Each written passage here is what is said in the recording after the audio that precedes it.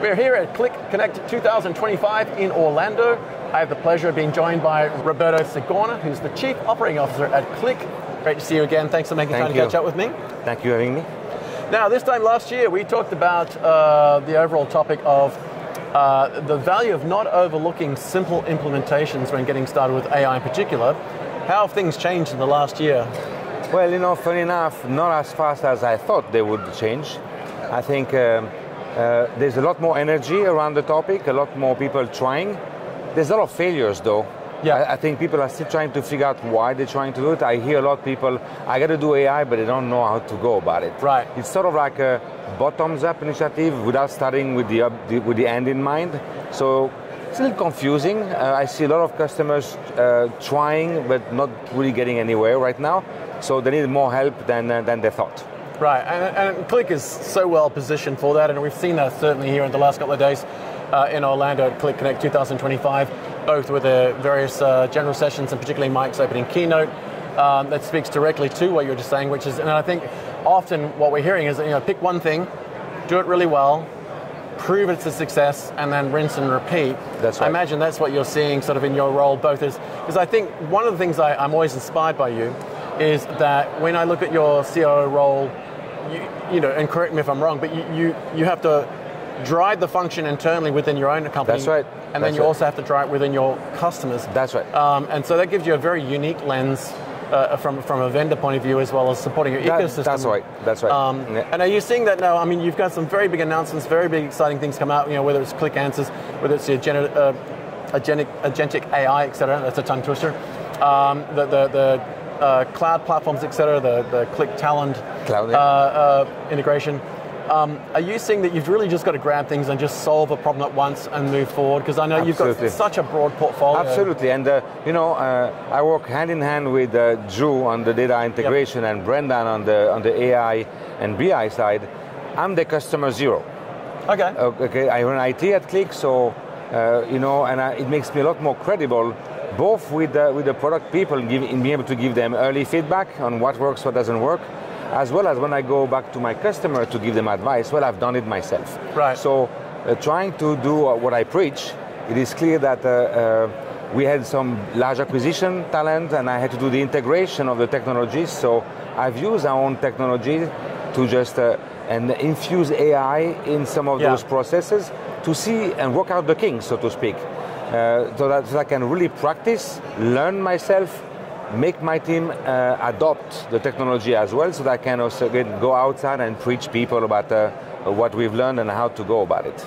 Yeah, there's, there's nothing better than someone who's eating their own dog food, as they say here in That's America. right, that's right. Um, and you do have, you know, I think that speaks directly to the sort of credibility you need to go out into the field with your partners and integrators, resellers, and the training companies, because the first thing they're going to say was, "How did you do it? Have you done it?" And you can actually say, "Yes, we've we have done And that." show them, yeah. with some, w- there's a number of big challenges going on around the world at the moment. I mean, you know, we won't go into the detail of what they are. Um, when we think about the adoption of sort of quote unquote AI, whether it's generative um, AI or whether it's uh, machine learning and so forth, what are some of the big trends you've seen over the last year outside of your organization that you've been able to help companies with? Yeah. So I think what's happening in the world right now, mainly with the tariffs, is creating a lot of confusion. Yeah. So people have budget, they don't have budget, they have budget again. so there is a lot of. Uh, so what people have the need to do, even more so than before, is show return on investment faster, because Right. those windows get shorter. Things are, kind of hectic. So Yep. when you have an idea, the time customers have to demonstrate that the, the idea can just do something Right. is shorter. So this concept you were talking about, there's that uh, you really got to pick one thing and make it work. So it's, it's sort of like a bit more of a show and tell game now. Right. Look, it does work. And then you really get the budget to go and do it at scale afterwards, maybe. So the big projects, bottom up, creating big teams, spend millions of dollars, do a lot of like requirements gathering for months. That's kind of done. It's a, I would say a lot more agile now. Uh, skunk work. What I like to talk about, in, even at Qlik internally, is uh, while the organization is a super tanker, uh, going in its own direction and uh, steady. When I want to do something new like AI, you got to put put a few people off the super tanker on a speedboat. Right. And uh, you know, again, preaching what uh, uh, that Yeah. what I tell my customers, I create my own little AI team. Okay. You know, out of an organization in IT which is like a two to three hundred, my overall team uh, close to a thousand people. I create an AI team of eight people Right. who, who are free to go wild. Uh, and uh, but, but again, go wild on a specific point problem with uh, short sprints to demonstrate that it works. Yep. So find interesting challenges, get some wins with it, set up a version 1.0, move forward. And, and I imagine you can, if you're doing that internally within your own organization and within Qlik, you can then take those learnings out to your very broad customer base and saying, here's how we've solved this problem. We think That's we right. can help you with it. Here are the tools that Qlik can bring to the That, table. that is right. And AI, AI has all these negative connotations like it's taking my job away. Right. Okay, spoke uh, James spoke about that on stage. It will take some jobs away, or it will take your job away if you're not getting ready for it. Yeah. Okay. yep. So the biggest challenge, at least I see within Qlik sometimes with my own team, but even more so with customers, is this uh, resistance to change. So again, this concept of doing it small with a few people who are convinced, uh, people will be sarcastic at the beginning a bit. I'm not sure this is going to work. Yep. This is not how it works. This is too complicated. AI, Gen AI cannot do this. ML cannot solve that problem. When you do fix the problem, obviously then uh, it's a success. People start talking about the success, and people like success and want to be part of it. Absolutely. And then uh, you get like the people resistance aspect of things uh, out of the way, which is actually the biggest problem we have, I think, more than even the tariffs and the, and the world we live in. Okay. I think internally, people thinking, you know, every single big shift in technology, when the internet came, people say, I want nothing to do with it. yeah. I remember, I remember even when I was a kid, when the ATM machine came, my mom telling me she would never use it. Right? So how funny that looks today. I think my mom said something similar. yeah, exactly. So Uh, actually, it's an interesting point you raised there. I, I, I'm, I'm, I constantly, in the back of my mind, I had this one liner that Mike Capone said yesterday on stage, which is, AI is not going to take your job. It's somebody who's better than you at, at AI will take that's your right. job, That's right. which I think is important. And I think that uh, uh, is, is going to apply to organizations as well, and that is that if your competitors become better with AI, they're going to get a competitive They're going to leap forward, yeah. With that in mind, is there a particular type of company that's excelling with the adoption of AI that you're seeing? Any industry or any Uh, player? I'm not sure there is uh, really an industry where I see that uh, done. I'm surprised about, um, uh, for example, um, industries I would never, never have thought they were so high tech. But for example, power generation. Yeah. Uh, there's a couple of examples I, I- I've seen recently where, obviously, it, that world is changing. They used to use coal and oil, and now they have like uh, you know solar energy and windmills, and uh, they became me. brokers of buying and selling energies Yeah. based on demand. And uh, you can turn off solar or on and off whenever Yeah, you yeah. feel like it. So it has become an interesting game now of. Uh, using AI to predict demand based on weather forecast and uh, and trying to just turn on and off production and selling and so there I've seen models of AI that they do which I'm like wow very impressive. And uh, maybe out of necessity they had to reinvent themselves because they were under threat. Yeah. so uh, maybe there was, there was a more burning platform. So that's kind of an industry I thought was interesting. But in general where I think where I see success is when it's not an IT project Okay. uh, because uh, IT, it's not like a, uh, you know, I create something and people should come to use it. Yeah, yeah. As opposed to, I have a real business need, and I do realize that I have to do find a new answer to an old problem. So, the successes I see when uh, problem- problems to be solved are very specific, and there is a real strong handshake between the business user Yeah. and uh, uh, and the IT piece. Unlike the opposite is again, IT doing the whole data piece uh, maybe very well. And I say like, well, and here's the tool to go do AI on it. People don't even know what the art of the possible is. Right, yeah, So and people get confused about that. The the opposite where people fail, Mike Capone uh, and Drew talked a lot about that on, uh, on main stage yesterday, is when people want to skip to the end without doing all the necessary preparation Right, work. right, yeah. We talk about Qlik Answers. There's nothing worse than just putting all your structured and unstructured data into the engine and giving junk data. Yep. Okay, so people who have not curated and took care and uh, they did the, the data for uh, for a long time, they're in a world of hurt. Yeah, yeah. I remember Mike Capone saying that on stage last year. Garbage in, garbage out. Right. That's right. I think- uh, it's now hallucination out. Yeah, the hallucination. out. Yeah, I've, I've, I've always I look at that phrase and like, yeah, hallucination. Uh, with that in mind, uh, you know, when we talk about some of the organizations that are succeeding at it, are there industries or organizations that are maybe falling behind it a little bit where the adoption of AI isn't quite as rapid as, as you might have hoped? No, I don't think so. I, Okay. I, I, I don't see industries.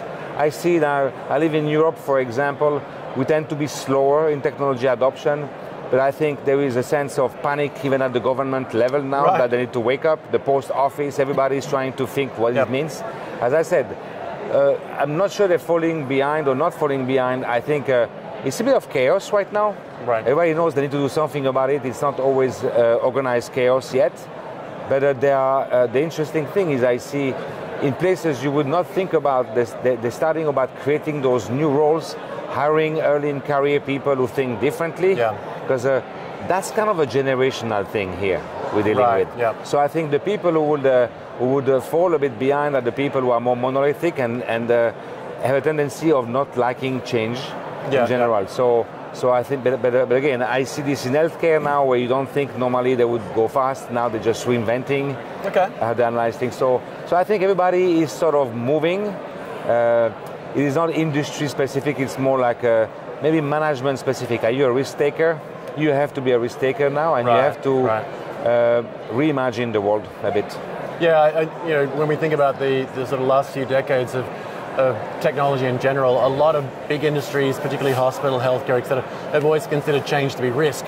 But I think now it's one of those things where the risk is not to change.